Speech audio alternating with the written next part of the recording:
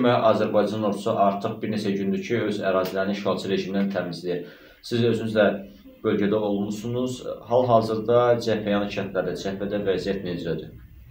Mütəmadi şəkildə biz cəbhə bölgələrində oluruq, yəni Qarabağ Təşkilatının rəhbərliyi olaraq eyni zamanda Qarabağ Təşkilatının cəbhə qərargahını daimi fəaliyyət göstərən cəbhə qərargahını yaratmışıq ilk gündən. Orada daim Qarabağ Təşkilatının sədr müavini Hacı Fərman Məmmədov orada daim oturur. Bu gün də ordadır. Elə səhər-səhər də əlaqə saxlamışıq. Orada bütün cəbhə boyu bizim rayon şöbələrinin sədrləri ilə, nümayəndələri ilə əlaqə saxlayır gündəlik. Hacı Fərman, yəni Gəncə, Goranboy, Naftalan, Tərtər, Ağdam, Bərdə, Beyləqan, Füzuli hamısı ilə, hamısı ilə gündəlik əlaqə saxlanılır ki, hansı vəziyyət nə yerdədir, hansı proses nə cür gedir, nə kömək edə bilərik. Yəni daim o prosesləri orada nəzarətdə saxlayır. Nəzarətdə deyəndə məlumatımız var orada. Harda gücümüz çatan nə kömək varsa, köməklərimizi göstəririk və verilən məlumatlara görə, yəni birbaşa tutaq ki, bizim özümüzün qərargahımıza verdiyi məlumatlar, öz müşahidələrimiz və bir də rəsmi məlumatlar. Yəni əsas vacib məsələ rəsmi məlumatları götürməkdir. Rəsmi məlumatlara əsaslanmaqdır. Rəsmi məlumatlarla da e, deyək ki, qeyri-rəsmi məlumatların arasında orta bir e, bir həqiqəti tapmağa çalışırıq. Yəni bu həqiqət ondan ibarətdir ki, Azərbaycan ordusu uğurla irəliləyir. Yəni rəsmi məlumatlar da artıq verildi. Son 8 kəndin işğaldan azad olunması ilə bağlı məlumat verildi bu öz yerində. Eyni zamanda bütün istiqamətlərdə, yəni e, Kəlbəcər, e, Murovdağ istiqamətində, e, Ağdərə, Ağdam istiqamətində, Füzuli, Cəbrayıl istiqamətində, Xocavənd istiqamətində, bütün istiqamətlərdə Azərbaycan ordusu ümumi rəyimiz, məlumatımız ondan ibarətdir. Rəsmi məlumat da onu deyir. Ondan ibarətdir ki, o uğurla irəliləyir və Ermənistan hər meydanında Azərbaycana müqavimət göstərə bilmir.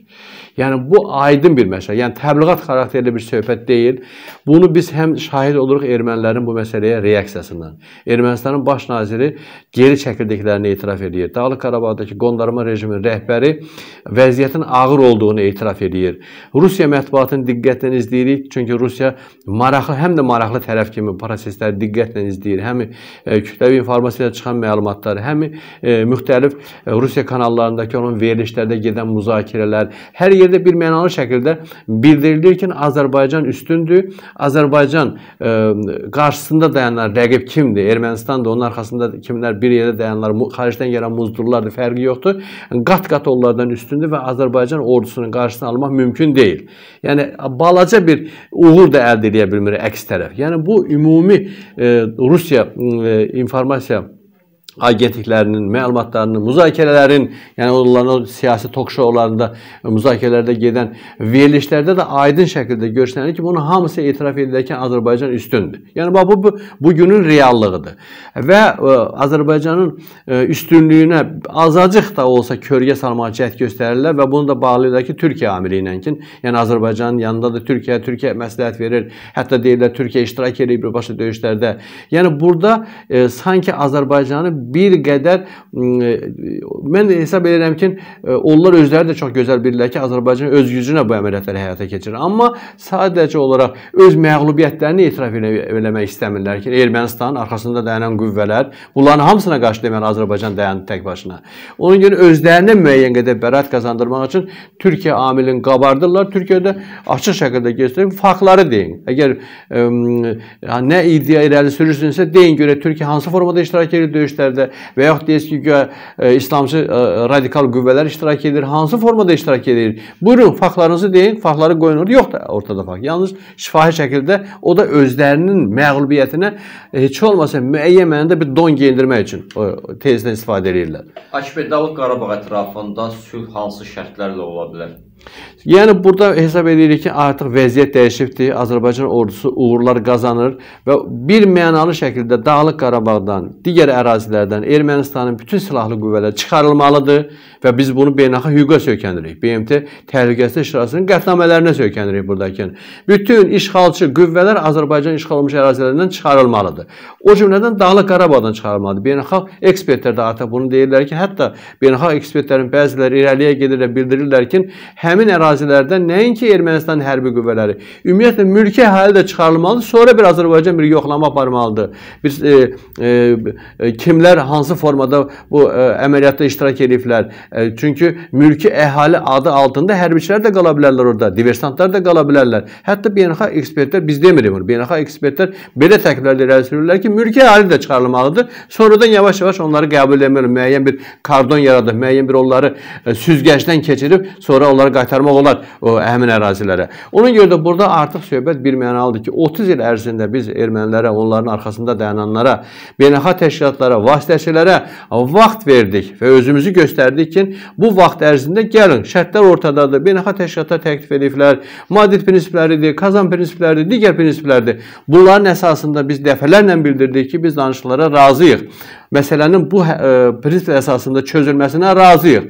30 il ərzində bizim başımıza oyun açdılar, bizi aldatdılar. Məqsəd ondan ibarət idi ki, vaxt keçsin və hər şey olduğu kimi qalsın. Ortaya qoyulan o təkliflərin heç bir mənası yoxdur. Belə görünür ki. İndi təzədən bunlar qayıdırlar həmin prinsiplərin üzərində. Rusiyanın Xarici İşlər naziri Sergey Lavrov da tərif edir ki, çıxışında 5 rayon, sonra 7 rayon və status bir yerdə həll olunsun. Bunlar artıq keçmişdir. Bunlar dünənin söhbətidir. Artıq bu təkliflər ki, dünən biz buna razı idik. Bu gün biz ona artıq razı deyilik. Bir mənalı şəkildə Ermənistanla Azərbaycanın sərhəddinə qədər ərazilər sərhəd bərpa olunmalıdır Azərbaycanın sərhəddi. Həmin ərazilərdə Azərbaycanın suveren hüquqları tam şəkildə təmin olunmalıdır. Dağlıq Qarabağdakı ermənilər yaşayırlarsa Dağlıq Qarabağda yaşayacaqlar. Azərbaycan vətəndaşları kimi onlara hər hansı bir statusdan söhbət getməməlidir. Yəni bizim mövqeyimiz bundan ibarətdir. Əgər status məsələsini kimlərsə ortaya salırlarsa, Dağlıq e, Ermənistandan Ermənistan deyilən ərazilərdən, Qərbi Azərbaycandan 250-300 min rəsmi, bəlkə də çoxdur. Yəni qeyri-rəsmi məlumatlara çox, görə çoxdur. 250-300 min Azərbaycanlı çıxarılıbdır münaqişənin gedişində. Özdə kompakt şəkildə bir yerdə yaşayırlar. Yoruz, Qafan və digər istiqamətlərdə yaşayırlar. Həmin Azərbaycanlı əhali qaytarılmalıdır. Danışıqlarda bu predmet olmalı danışıqlar. Qaytarılmalıdır özlərinin dünən sırağa gün yaşadıkları dədə-baba yurtlarına, qədim yurtlarına.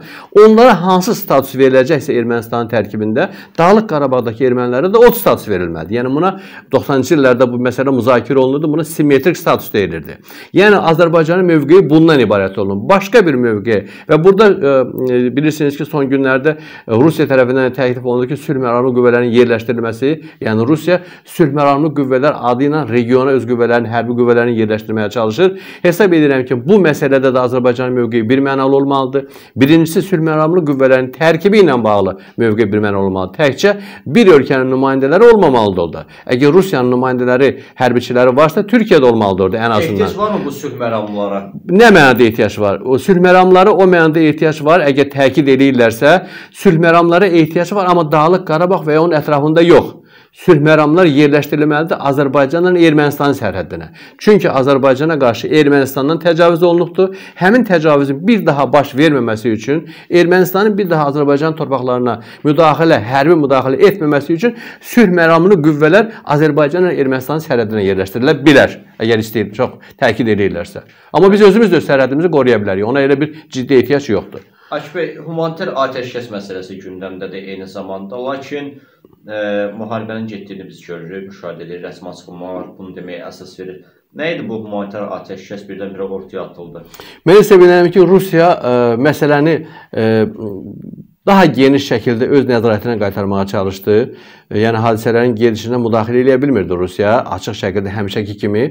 E, ona görə də Rusiya fəallıq göstərdi və Azərbaycanın Ermənistan Xarici İşlər Nazirini dəvət elədilər və həmin danışıqlarda Rusiya mən hesab edirəm ki, maksimum e, atəşkəsin, atəşin tam dayanmasına nail olmaq istəyirdi.